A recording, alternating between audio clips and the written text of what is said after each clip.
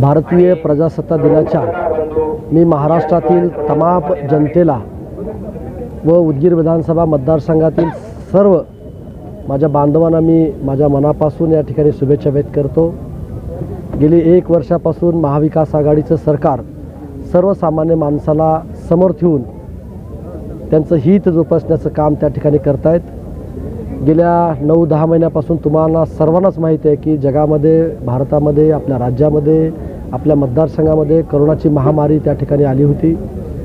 त्या महामारीतून सावरण्यासाठी प्रशासनातील सर्व अधिकाऱ्यांनी जीवाची पर्वा न करता लोकांना धीर देण्याचं लोकांना आरोग्याची सेवा देण्याचं काम त्या ठिकाणी केलेलं आहे.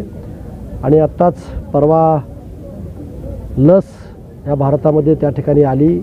आणि लससुद्धा टोचण्याचं काम ज्यांनी आरोग्य फर्स्ट ज्यांनी आरोग्य डॉक्टर लोकांनी आशा अंगणवाडी सेविकांनी जे चांगलं काम केलं होतं त्यांना लस देण्याचं काम त्या ठिकाणी केलेलं आहे. मला तुमच्या सर्वांच्या माध्यमातून जनतेला सांगायचं आहे ही लस अतिशय सुरक्षित लस आहे.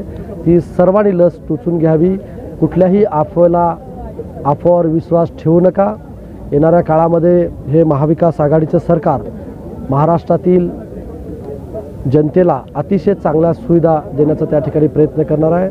आदरणीय पवारसाहेबांच्या नावाने आम्ही ग्राम समृद्धी योजना माननीय शरदचंद्रजी ग्राम समृद्धी योजना आम्ही त्या ठिकाणी लागू केलेली आहे.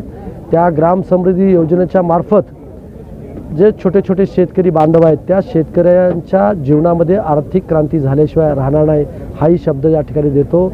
आणि पाणीपुरवठा खात्याचा राज्यमंत्री म्हणून मी जनतेला आश्वास करू श- इच्छितो की येणाऱ्या दोन हजार चोवीसपर्यंत ग्रामीण भागातल्या प्रत्येक व्यक्तीला पंचावन्न लिटर प्रमाणात शुद्ध पाणी देण्याचा आमचा प्रयत्न राहणार आहे.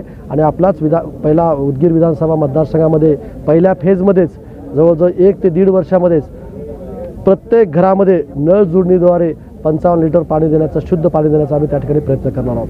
विकासाच्या बाबतीमध्ये आत्ताच संचालन करणाऱ्या मॅडमनी सांगितलं की जे जे काही मोठे मोठे कामं करायचे होते ते करण्याचा प्रयत्न आपण त्या ठिकाणी केलेला आहे. भविष्यकाळात सर्वच या मान्यवर नेत्यांच्या मार्गदर्शनाखाली या उदगीर विधानसभा मतदारसंघामध्ये जे काही विकास राहिला असेल तेही करण्याचा आपण त्या ठिकाणी प्रयत्न करू.